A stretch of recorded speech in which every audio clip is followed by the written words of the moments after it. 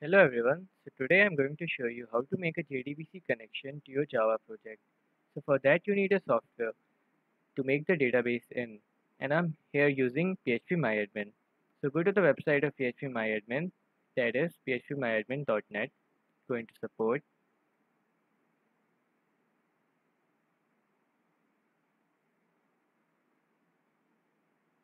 And in support go into the documentation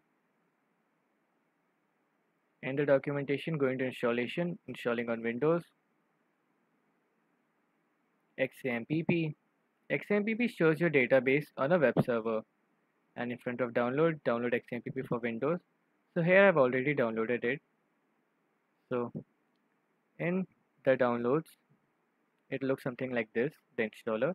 Just open it and install it normally by just clicking next next. Then after the installation is done You'll find in your C drive a folder named XAMPP. Just open it and click on XAMPP control. So the control panel will be something like this.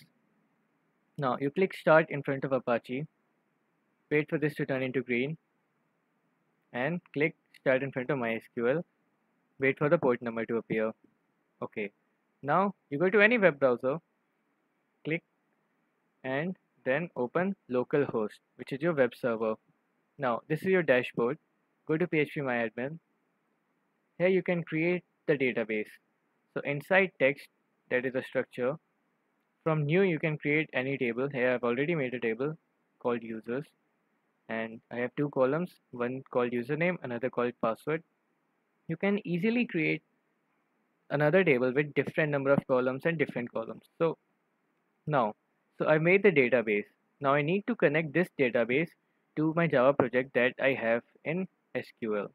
So for that I need a MySQL connector.jar file.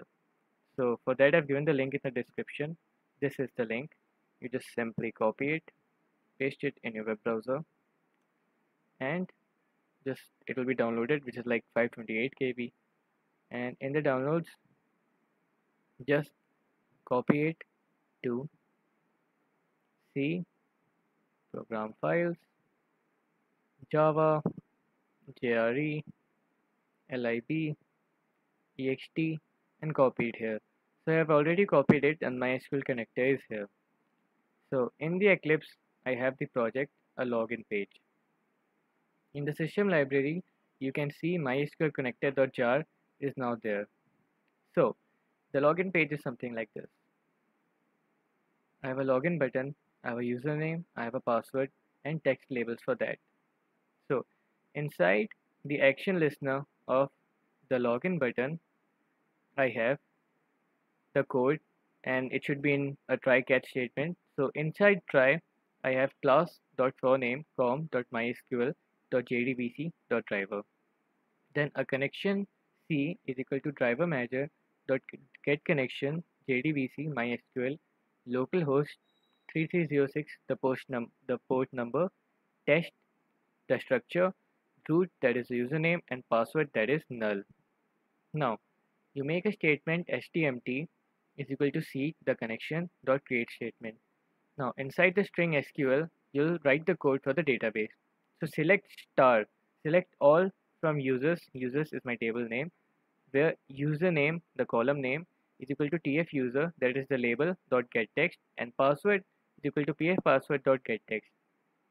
So if the username entered in the program, if this username label is equal to the username I have in my table and if the password label here is equal to the password I have in the table, then it will be true. So result set rs is equal to stmt.execute query sql. So if rs.next that is if it is true, then frame.dispose that is that frame will close and another frame will open. If it's not true then another message will be shown saying username password error. So I'll show you. Here I have the table and I have username and password as this. So inside this if I try to type it correctly if I type it correctly and this then it will successfully go to the next page. However if I try to type something else which is not in the table ADA ADA it'll give me a username slash password error. So the only lines of code that you need to write should be inside try catch and here I put it in the action performed of the login button. And this is the login page. So this is how you make the JDBC connection to your Java project